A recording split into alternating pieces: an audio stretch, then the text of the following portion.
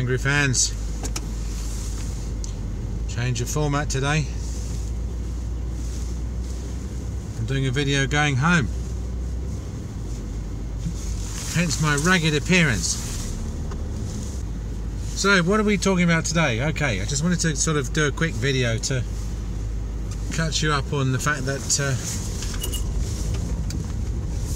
the private fees guide is now available and it's easier to explain this than it is to write to everyone. I have actually written to everyone.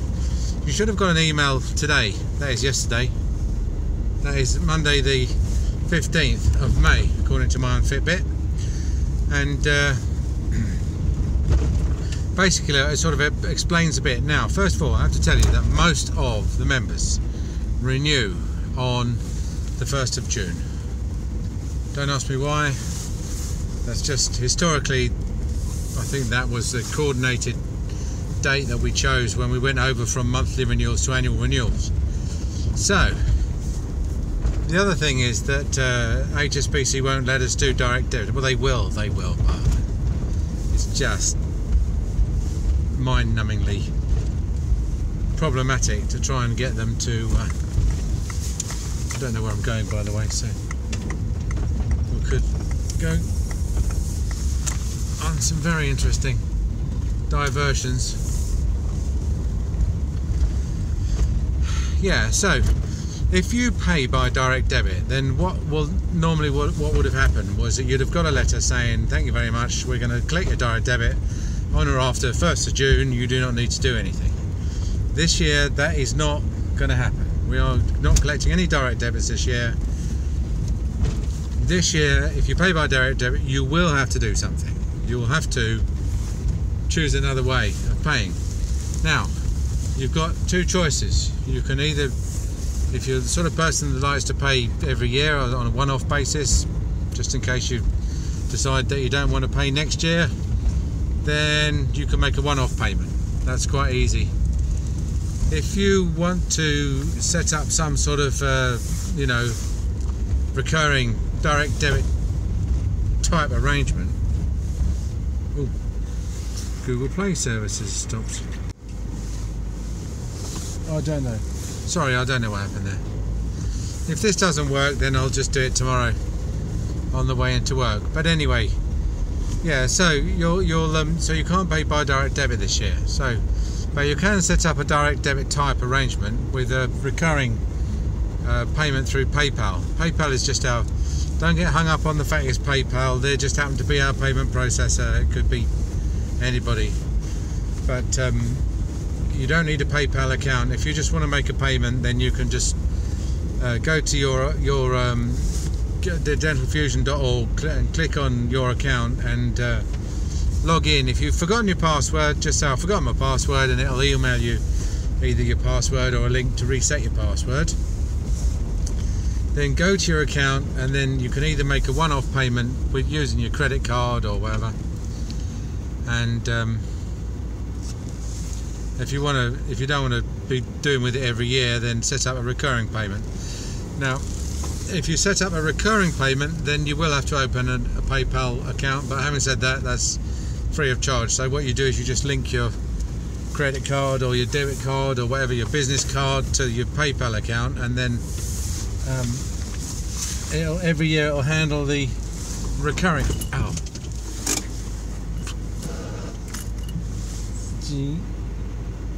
Jumping a Jehoshaphat.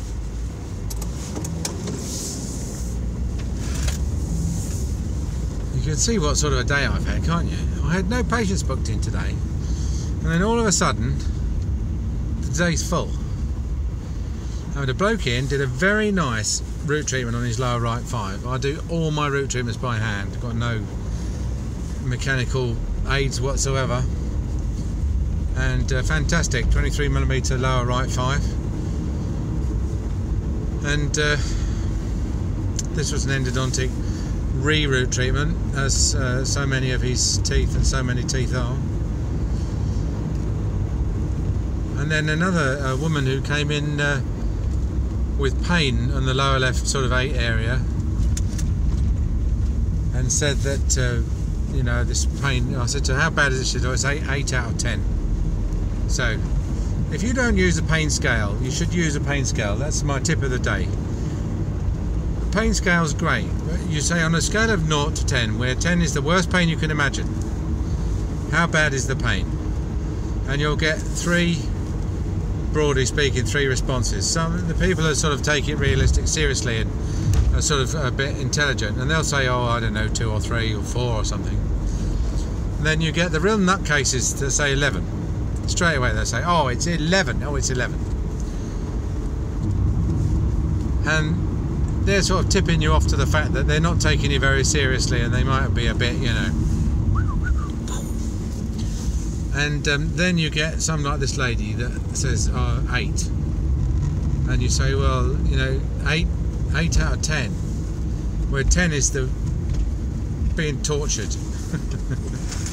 while simultaneously having every bone in your body broken, while simultaneously being poisoned and set on fire.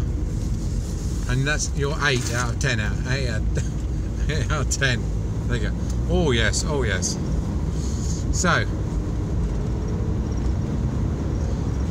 the reason why the pain scale works is, if someone says 8, and then they come in again and they say, oh that pain's still no better, it's got, you know, it's it's getting worse, doctor, it's getting worse. And you go, okay, well, on a scale of 0 to 10, how bad would you say it is now? And they say, oh, because they're stuck then, aren't they? Because they've come in too high. They've got no headroom. You've got, if you're sensible on this scale, you've got to come in about five or six to give yourself a bit of, of a chance to go up.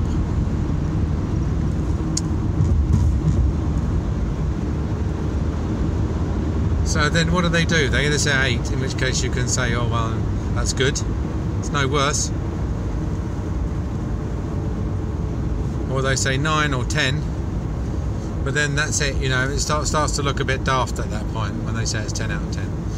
In fact, you can usually tell how much pain a patient is in. The whole point of the score is not really to judge how much pain they're in, although obviously, you know, subjectively they they can tell you how much pain they're in, but I don't know whether that necessarily makes a lot of difference to the treatment.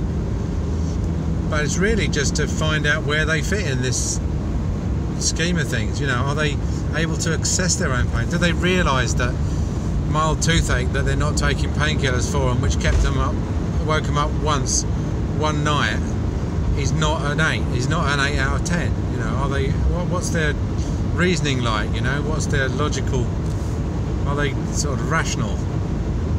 Um, the patients who are really in pain, you don't need to ask.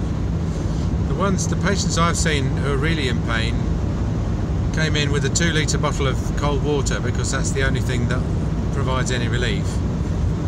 And they'll talk to you for about 30 seconds and then they'll just go completely quiet for a minute like they've had a fallen asleep. And it's not that, it's just they've had a wave of pain overcome them, you know, and, and they can't talk. It's so bad that they can't talk. And then uh, they have a sip of water and carry on talking again. Now, with a patient like that, who's, who's obviously in that much pain, the best thing to do is just to give them, uh, find out which tooth it is and just give them an ID block. So don't don't take a medical. I mean, obviously, I think you better take like rudimentary medical history. But I mean, in the cases I saw, I already knew the patient. So um, what they did was when they come in, you just say to them, "Look, hang on to your bottle of water. Before I say anything, I'm just going to give you an ID block." And uh, and then once once you've got rid of the pain, you can then take the history and decide, you know, to do the root treatment or whatever. I had a patient uh, once who I gave him uh, an, an, ID block. He's one of these people who's in a lot of pain. Gave him an ID block and um, I don't forget we took a tooth out or started a root treatment on him or something in those days. These days we would do the entire root treatment, start to finish. But in those days we used to give him antibiotics. In fact, we uh, we had a script pad printed up um, in a dot matrix printer. We used to take all the staples out run it through a dot matrix printer with Amoxil uh, caps 250 milligrams and uh, then put the staples back in another one of my contributions towards efficiency in dentistry. And uh, yeah, so he rang up and uh, I said to him, "What's the problem?" You know, he said, I, "I need to come back in." I said, "Well, why?" He said, "I want you to get me numb again." And I said, "Yeah, but what for? You know, what what do you need doing?" He said, "Nothing." He said, "I just want another ID block." He said, "I want, I just want." He said, "It's I'm worried about how much pain I'm going to be in when it wears off. So can you uh, just do another one?" And this bloke actually came in and. Uh, two or three hours after we did the first ID block, I did I just did another ID block on him, and then he went home again. Uh, oh dear, those were the days. Anyway, she uh, she you know she gave me all this. Uh, there's a massive great backstory to this. She's got a lower left, unerupted lower left wisdom tooth. She's got no seven and no six down there so she's convinced that she lost the 7 and the 6 because the dentist misdiagnosed the pain from the 8, of course. She's been to see or at least two oral surgeons about it apparently. Um, and they've told her that uh, they, she shouldn't have it touched because one told her she shouldn't have it touched because uh, it's so deeply buried that if she had it out it'd probably break her jaw. And the other one told her that uh, was if it was giving her trouble, then she should have it out. And she can't understand how you know two oral surgeons could come up with two different opinions. And um, she was worried about uh, having an anaesthetic because she was convinced that it would probably need a general anaesthetic. And uh, as a result, she would die. She would die under the anaesthetic. And she said her wisdom teeth were like hand grenades or bombs. I think they're bombs. I've three. She said I've got three bombs in my jaw. She said they're like bombs. And uh, what was the other thing? Oh yeah, when she had the upper left uh, wisdom tooth taken out, um, she'd left it apparently so late that she was within two hours of dying, according to the consultant oral surgeon who took the tooth out. Told her that if she'd left it two more hours, this infection, it would have killed her. And yet, she can't see the. I recommended that she had this tooth out. I told her that it was unlikely that she was going to die, and, and or need a general anaesthetic, and they're not really likely to break her jaw. And if it was eight out of ten on the pain scale, see, hoist on her own petard, that um, if it was me, I would have the tooth out. I never say what she should do. She should do. I say if it was me, this is what I would do. So, um, but then, but then she started saying, um, we took um, well, tried to take an X-ray of this wisdom tooth. Bearing in mind it's a lower left eight and it's buried deep in the angle of her jawbone, and and she's going oh, oh, oh, oh because it's eight out of ten, isn't it, on the pain scale, and she wants me to know it. So I managed to get half the tooth on the x-ray. Said, Why can't you get the whole tooth on the My previous dentist got the whole tooth on the x-ray. How can you tell me what to do if you can't even see the whole tooth? She said you can't really you can't really make a recommendation if you haven't uh, if you haven't got the whole tooth. I said I don't think that's entirely true. Are you calling me a liar? I always tell the truth. I said, No, I'm not calling you a liar. I'm saying that you're wrong in drawing the conclusion that because we can't see the whole tooth, we can't reach a recommendation on what to do about it.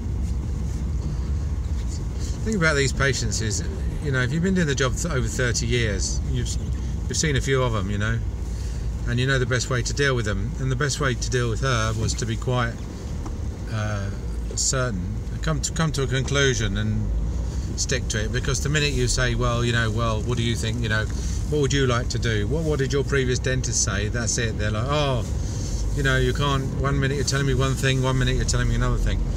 I told her I thought if it's as painful as she said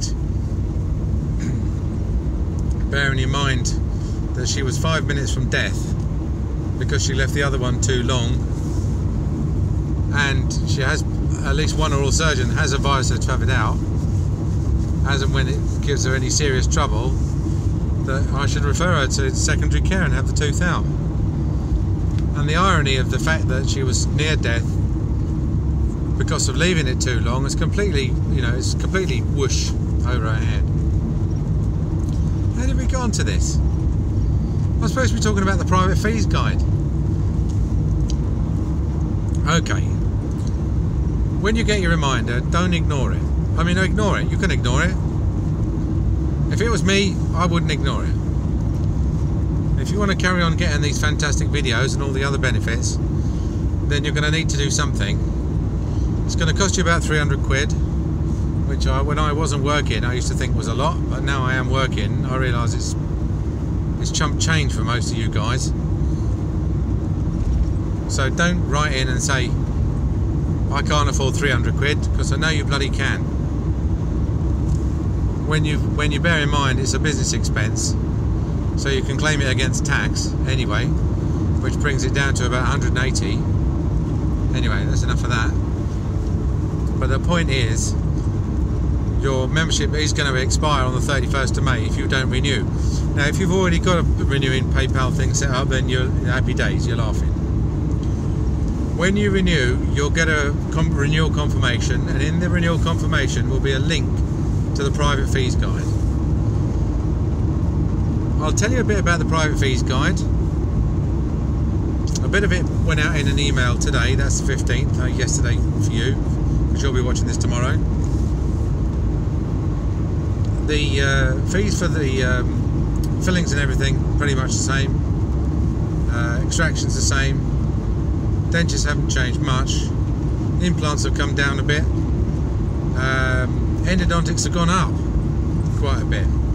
The routine checkup has has gone up because I think uh, a couple of years ago we were all a bit desperate to try and you know keep the volume patient volume up so we put the cost of a checkup down to try and avoid uh, deterring people from attending. Now it's it's gone the other way. The routine stuff's gone up, and but the emergency stuff has come down. So uh, we're sort of trying not to deter new patients from coming in. Endodontics, which I've always thought was a highly underpriced uh, skill, has finally started to go up a bit, which I'm quite pleased about. Because I think endodontics is, if it's done well, is really good, good general dentistry. You know, you can really, this is you're really saving teeth with endo. Um, what else? Anyway, it's all in the email and the guide. So when you renew, you'll get the, the link to the guide. You can download the guide and then you can set your fees accordingly. Um, you can renew now. You don't need to wait until the 1st of June. So you'll get a couple of reminders if you don't renew. If you want to, just go to dentalfusion.org and click on your account, and it will tell you when you're a member until, and then um, you can renew for a year, a year, up to a year, up to a year ahead, if you see what I mean. So, supposing you do uh, expire on the 1st of June, you could renew tomorrow, that is today for you, 16th of May, uh, until the 1st of June 2018. So you don't lose anything by renewing early. Do you know what I mean? You don't lose. It's not like you lose a few days if you renew early. It's not like a rail card. Oh no. If you renew early on your rail card, they take it off. They, they regard your old one as having expired. Bloody Swizz. But not us. Anyway, and then, but, but the point is, if you renew early, then what'll happen is you'll get the renewal confirmation email and it will have the link to the so anyway because most people renew on the 1st of June almost everybody will have had the link to the uh, who's renewed anyway will have the link to the private fees and wages guide by the 1st of June but if you're desperate for it and you want it two weeks early then just go and renew now and um, and you'll get it you'll get it as soon as you renew um, yeah, we were toying with the idea of charging for it because it seems a bit unfair on the dentists who do respond to the survey that they don't get anything really for putting the effort in. But on the other hand, the uh, it was always was a benefit of the association. So really, it was a member benefit and one of the more decent ones. So I thought at the end of the day, we'll keep it as a member benefit and not and not charge for it because I don't want to be. I don't want to get to the point where you know half the members haven't received the private fees guide because it was they didn't contribute to it, but it was 25 quid and they've not got round to paying for it or whatever, whatever, whatever. It's just it's too much work to program the website to sell it. So we're giving it away as always. But do get a copy because, as I say, it's interesting. And while um, you know, I mean, some people use it to set their fees, and other people use it to wave under the patient's nose and point out that their fees are, are less. Uh, the areas that are going up, it's useful to know, and the areas that are going down are useful to know as well. So you don't get too out of uh, out of kilter with the um, what's it with the uh, with your fees. All right, that's it. Home sweet home. I shall talk to you. I shall upload this tomorrow, so um, I will talk to you all probably Wednesday. Have a good day at work. Bye. Good morning. Good morning. Good morning. Ooh, something coming. You know, seatbelts are designed to be put on one-handed. Do you know that? Oh, the gear sticks are supposed to work. So anyway, look, this is just a quick addendum because when I go to work today, I'm going to mix together the thing I recorded on the way home from work yesterday. When yesterday was today and today was tomorrow. And uh, so you'll be getting it today, even though it was recorded yesterday. or tomorrow, as promised. Anyway, I thought I'd just do a quick addendum. Now look, you know, obviously, I'm obsessed with Bitcoin in the same way as people were obsessed with uh, property when property was shooting up in price, etc. etc. You can't help it. But there's been this big hack, big this big malware thing, and the, uh, they're demanding a ransom in Bitcoin. So, a lot of people are saying a lot of things about Bitcoin, and most of them are dumb, really dumb. And it's Bitcoin is a bit of an intelligence test. Unfortunately, that people people find it hard to say anything clever about Bitcoin. It's an intelligence test that people fail.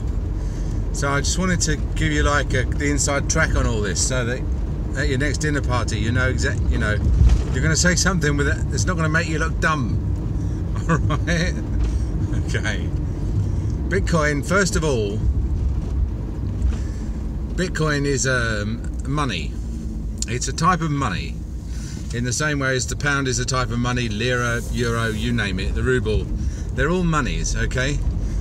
Now, to, in order to understand why Bitcoin is money, you have to understand what money is. so the first thing that it, you need to do if you're going to try and understand Bitcoin seriously is do a bit of reading, do, do a bit of research into what makes something money and there are some, you know, there are uh, a lot of sort of uh, predefined uh, measures like, uh, you know, it has to be a, a store of uh, value, it has to be a, a, unit of account, you know, you have to be capable of pricing things in it. Every unit of the money has to be the same as every other unit. So, for example, you don't uh, have to worry if someone gives you a five pound note whether it was previously stolen stolen from somewhere and therefore the police are going to want it back um, you know, so there's all this research, basic research, but you don't need to worry about that. If you just just accept for me, from me for the for the first part, Bitcoin is is a money, okay. And then you say, well, what's the difference between a money and a currency? Well, basically, a currency is just a money that's currently in use. So you know, the uh, Roman sesterce was a money, but it's not a currency because at the moment, obviously, it's not currently in use. So that's when they say, is it a currency or a money? Basically, it's a money, but at the moment it's becoming a currency. Now, obviously, a currency is the more people accept something and own it and hold it and use it, the more it becomes a currency. So it's a currency in its infancy. Why is it such a good money? People who use it say that it's very, very close to an ideal money. That is like a theoretical academic money. And the reason is that it's um, it's immune really from outside interference. And that's what that's that's the essence of what constitutes an ideal money is that you don't have uh, governments waging sort of foreign wars that would you know can only be afforded by running the printing presses and and debasing the currency. And uh, so that brings you to another point that inflation is a tax you know, we have PAYE tax, we have national insurance tax, we have inheritance tax, we have value added tax, and we have inflation tax. And inflation tax is the is a, a hidden tax. It's a stealth tax. It's the tax that means that your um, you know your endowment that you took out in your twenties, uh, in the knowledge that it you'd be rich when it matured, won't buy you a cup of coffee when it matures. And you have to ask yourself who's who's had all that value? And the answer is that inflation has eroded. The government oh inflation has eroded it but it hasn't. Well inflation has eroded it but the point is that inflation is the tax. It's the tax on any asset that's denominated in whatever currency that's inflated. So bitcoin was designed to be pretty well inflation free um, there, there's a maximum upper limit that everybody knows about on bitcoins of 21 million. Although there are more than enough to go around because they can be infinitely subdivided so it's almost like a counter-inflationary it's a deflationary currency in that you have it in your bank account and instead of seeing the purchasing power go down you see the purchasing power of bitcoin go up.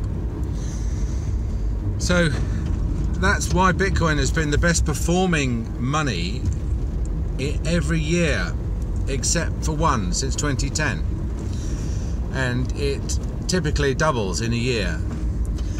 And in terms of its purchasing power. And really that's a sign not so much of the fact that bitcoin is becoming worth more although it is because of demand is increasing and supply is fixed but it's it's a measure really of um, how other currencies are faring against bitcoin you know how is the pound or the the dollar doing against Bitcoin? And the answer is the pound and the dollar against Bitcoin are doing very badly. Um, and, in, and if you look at your house, which I've said in the past is pretty constant measure of uh, value because it's it's always the same size. It still it always has a roof and always keeps you dry, etc. If you look at how your the value of your house is doing against your local currency, you'll probably find that your house is doing rather well in terms of purchasing power. You can purchase far more of the local currency with your house than than uh, was necessary to buy the house in the first place. So, so currencies are doing really badly, um, and it's a shame that um, wages aren't wages, which are typically denominated in local currency, really should be going up. Um, you know, hand over fist, like property prices and like the, like the Bitcoin price. But anyway, we've wandered a bit far away from ransomware. Ransomware is uh, can be initiated through a, somebody, some idiot opening an email. In this case, to get infected, you don't necessarily have to be the one that opened the email. Someone on your network has to be the idiot who opened the email. But then this thing is not a virus. People call it a virus. It's not a virus, it's called a worm. And the difference is a worm is capable of jumping from computer to computer on an internal network, um, unlike a virus which has to infect uh, every single computer, uh, generally from the internet or from some sort of outside source. So once you've got a worm on your network, it'll go around and it, uh, it'll encrypt all your drives. And it encrypts all the drives that have got drive letters. So it'll encrypt drive C, D, F, G, S, whatever you've got um, including any drives that you've got mapped. So if you've got your an external drive that's mapped as a drive letter, then it'll encrypt that. But it's not capable of jumping to anything that begins with a double backslash. So if you've got like a network attached storage, then it won't, uh, it can't encrypt that at the moment. And uh, it uh, took advantage of uh, unpatched computers basically. So uh, if your computer was up to date and you had Windows 10 with the latest updates installed, then this wouldn't have been a problem. The bad news is that it's pretty thorough this thing, so it, and it encrypts your files and uh, destroys the key, or rather, it sends the key to head office and then destroys it locally. So don't believe anyone who says that they can decrypt your computer if you're affected by it. The only thing you can do is one of two things. Uh, one is to pay the ransom, in which case I think it's highly likely that you will get the key uh, and be able to decrypt your files, and it's about $300 or the other thing is just restore your files from a backup. Wipe the computer clean and wipe your, and restore your files from a known good backup in which case all you've lost is uh, a few days work and you're a bit older and wiser. The uh, program you want to use to back up is a thing called Macrium Reflect. That's M-A-C-R-I-U-M Macrium Reflect and it's a free program, very sophisticated. And uh, I might, if there's enough demand, I'll, or if you want me to, I'll can take you through how to set that up. And that that makes one full backup every month, and then every day it just backs up the files, any files that are different. So, in order to restore to any particular date in time, you restore the full backup plus the differential backup for that day, and then that gets you back to any day.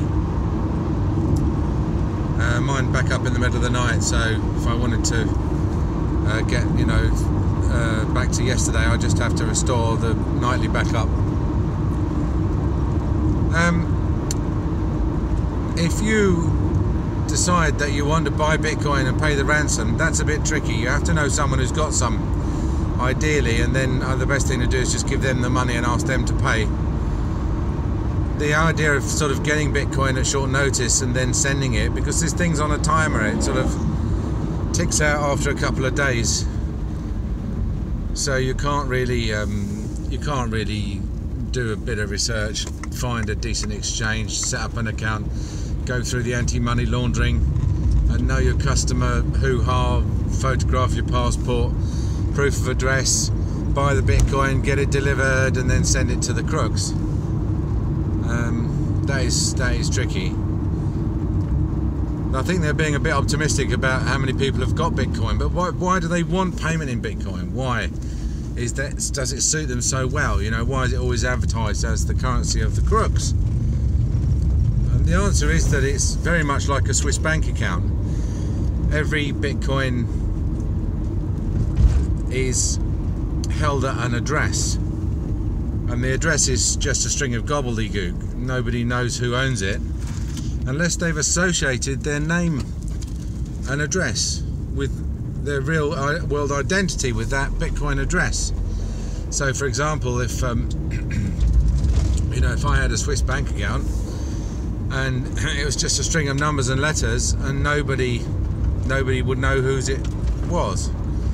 But if I say, uh, you know, I'd like to buy a helicopter, and I'm going to pay, I'll be paying out of this account, and can you please deliver the helicopter to uh, Angry Towers, then it's a pretty reasonable suggestion that that Swiss bank account is associated, is my Swiss bank account, isn't it? And it's the same way with Bitcoin addresses. If you associate your identity with an address, then people can start to join the dots. But in practice, if you don't uh, if you don't associate your identity with a Bitcoin address, then really they have a lot of trouble finding out who owns what. And that's why the crooks love it. It's what they call pseudonymous. It's not completely anonymous because the address and its contents and all the transactions are publicly visible and maintained on this shared network of computers. But um, their actual real world physical identity of the person who's making all those transactions is uh, has to be voluntarily disclosed or disclosed by mistake. Um, so you get this uh, pseudonymous. Uh, people are sort of using the Bitcoin addresses as a pseudonym.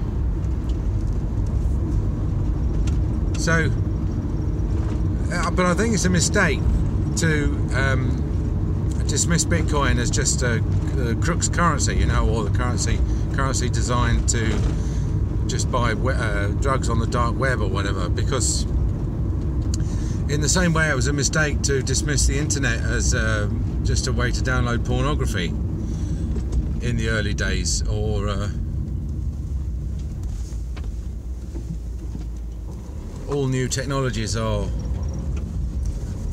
you know, the criminals are early adopters of promising new technologies, especially if the authorities are a bit slow to understand them and catch up.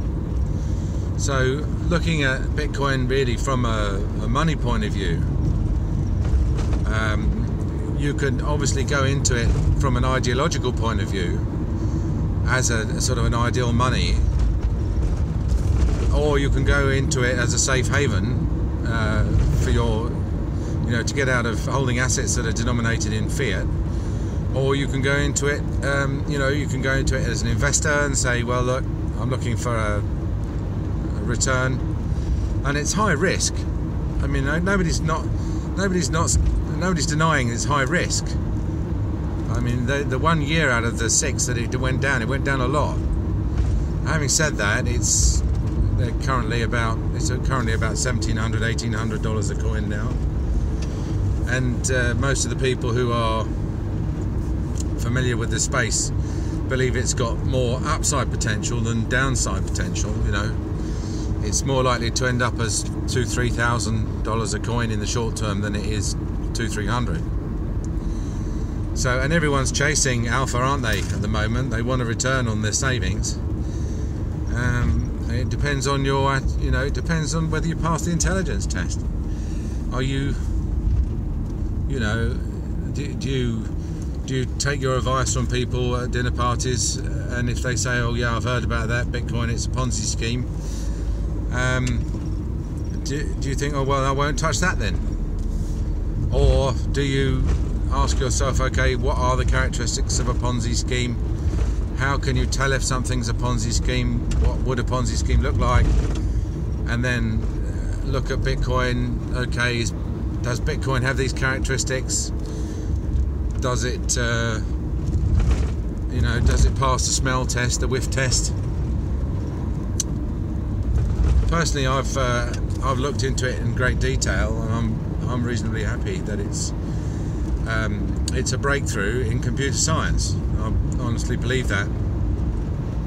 And like all breakthroughs, like Skype, like fax, like email, like the internet, uh, all of which I've seen in my lifetime, I'm quite happy to be an early adopter and then just sit back and wait, you know, and just wait till everyone else, wait till all the low foreheads catch up. so, But um, yeah, so don't uh, when, when, you see all these uh, you know the, all these articles in the Daily Mirror and the Sun and the Daily Mail, what is Bitcoin and how do you get some? And what is Bitcoin? How do you mine it? You know, created by a mysterious mysterious programmer Satoshi Nakamoto. Aha! It's uh, it's open source all the code is open source, which means that there's no secrecy about how the system works. And anyone who knows how to read computer code can download the code and, and see how it works. So there's nothing shadowy about it. And, in fact, I don't know, you know, I mean, many of you may be familiar with Linux, the operating system, and most of you will use Windows, obviously, but uh, Linux is another operating system. And um, it's open source anyone can install it on their computer and you don't need to worry about whether there's something hidden in it because unlike Windows because uh, you know you can read the code anyone who knows how to read code can read the code for Linux and and say yeah okay that's what I would have written if I'd written it that's fine Um, and it was created by this guy called uh, Linus Torvalds. But the you know the idea that he's control in control of it is just ridiculous because he's, I mean you know everybody looks up to him, respects him, and when they make some big decisions, um, know his opinion is given slightly greater weight, I would say, than other people, and no more than than an expert in the particular decision that they're going to make. Um, and, and he may well be less expert than some of the experts in the particular decisions that they're making. Um, so it's a similar system, you know. It's it's sort of it's got a life of its own. It's exists in its own right as a concept, and uh, like like Linux and like uh, BitTorrent and all these decentralized protocols, decentralized open source protocols tend to exist on the internet. And to shut them down, you'd have to shut down the internet, and that's not practical. So again, the other thing that you you know you hear, oh well, it's too volatile. Well, it's not anymore. I mean, it was in the early days. Or you hear that yeah, the government's going to shut it down. Well, no, it's not. Because to do that, the government would have to shut down the internet, and they can't do that. Or they, you know, any more than they could shut down and, and BitTorrent. And believe me, they've tried to shut down BitTorrent, which is a file sharing service, which people use to sell. Uh, share um, um, music and videos and stuff like that. So anyway, that's Bitcoin. I know, uh, hopefully if you're bored with Bitcoin, you'll have fast forwarded through all this. And uh, there have been articles on Bitcoin in the magazine in the past, so it's not the first time I've mentioned it, and it probably won't be the last either. Anyway, I'm back at work. I shall might I might put this on the end of the other video, or I might uh, release it as a separate video. We'll see how it goes.